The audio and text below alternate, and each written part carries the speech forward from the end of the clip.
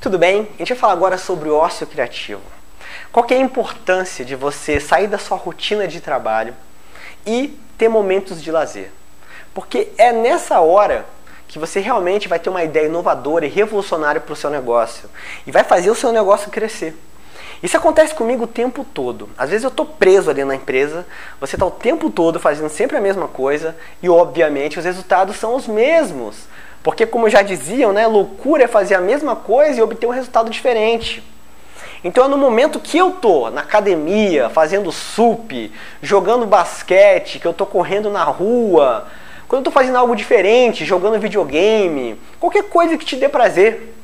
É nesse momento que eu falo, nossa, eu deveria fazer isso de diferente na empresa para ela crescer. Isso acontece comigo o tempo todo. Então é muito importante que você tenha momentos de lazer. E eu sei, eu entendo que no começo, né, no começo quando você estiver abrindo a sua empresa, vai ser uma correria muito grande, é muito trabalho.